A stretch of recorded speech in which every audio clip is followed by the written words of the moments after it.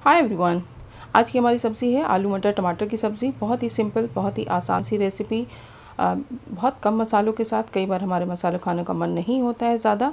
तो ये सब्ज़ी परफेक्ट है उस टाइम के लिए। यहाँ पे मैंने लिया हुआ है एक चम्मच तेल। सरसों का तेल। तेल को अच्छी तरह से गर्म कर लेंगे ताकि धुआँ निकलने लगे। और अब उसमें डाल देंगे एक चम्मच ज़ीरा। ज़ीरे को थोड़ा सा तलने देंगे। और इसमें डालेंगे कटे हुए हरे मिर्च। तो ये मिर्च मैंने चार पाँच लिए हैं, आप एक या दो भी डाल सकते हैं। और मिर्चों को थोड़ा सा तल जाने देंगे। इसके बाद डालेंगे हम एक कटोरी मटर।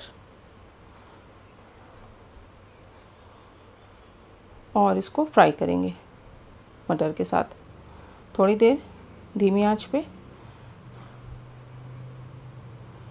और अब इसमें डाल देंगे हम दो कटे हुए टमाटर, मीडियम साइज़ के।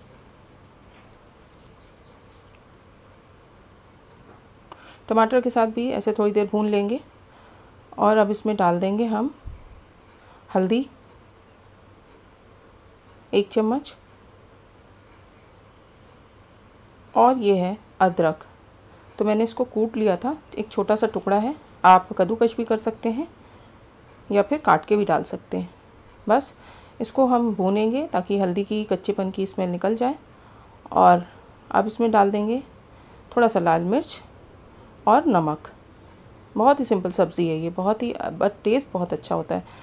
तो ये हो गया, नमक डाल दिया और इसको भून लेंगे थोड़ा सा और अब हम इसमें डाल देंगे थोड़ा पानी और इसको गलने देंगे मटर और टमाटर को। ढाँक के धीमी आँच पे पूरी के साथ ये सब्ज़ी बहुत अच्छी लगती है।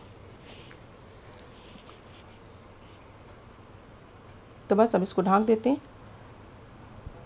और करीब छः से सात मिनट लगेगा मटर गलने पे। मटर कर डिपेंड करता है, मटर की क्वालिटी के ऊपर। अगर बहुत टाइट है तो थोड़ा सा टाइम लगेगा। अदरवाइज़ ये जल्दी ही गल जाते हैं और बस यहाँ पे हो गया मटर। और अब इसको मैं खोल के देखती हूँ। अब हम इसमें डालेंगे थोड़ा ज़्यादा सा पानी। हाँ पानी ज़्यादा डालेंगे क्योंकि पानी से ही इसमें फ्लेवर आना है और अभी मैं बताती हूँ क्या करना है। तो पानी डाल दिया दो कटोरी। और अब इसमें हम डालेंगे उबले हुए आलू, जिनको कि मैश करके डालेंगे।